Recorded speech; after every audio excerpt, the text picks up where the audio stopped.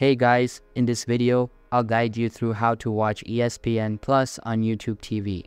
Alright, so let's begin with the video. Subscribe to YouTube TV. Visit the YouTube TV website and sign up.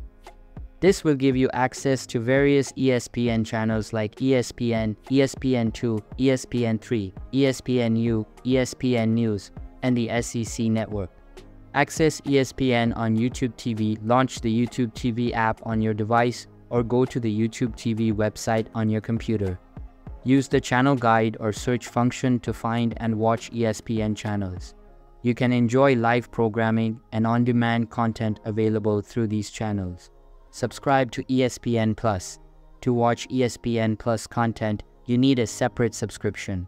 Sign up on the ESPN website or through the ESPN app. This subscription offers exclusive live sports, original shows, and additional content not available on regular ESPN channels. Watch ESPN Plus content. Open the ESPN app on your device, log in with your ESPN Plus credentials, and enjoy exclusive content like live sports events, original programming, and documentaries. You can access ESPN Plus on smartphones, tablets, smart TVs, streaming devices, and gaming consoles.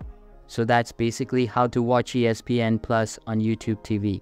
So that's for this video. If you find it helpful, consider subscribing and giving this big thumbs up, and I'll catch you in the next one. Thanks.